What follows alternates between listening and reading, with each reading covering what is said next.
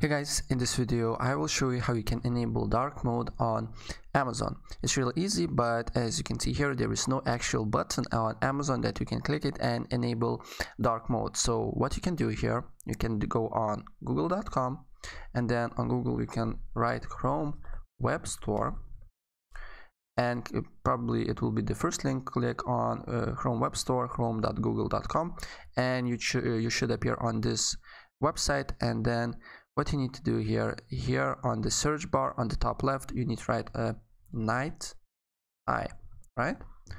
Right night eye.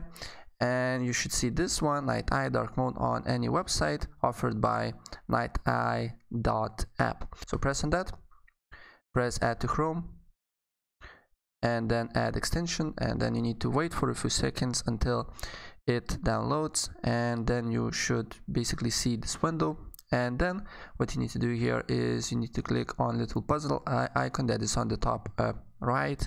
And then you need to click on night eye.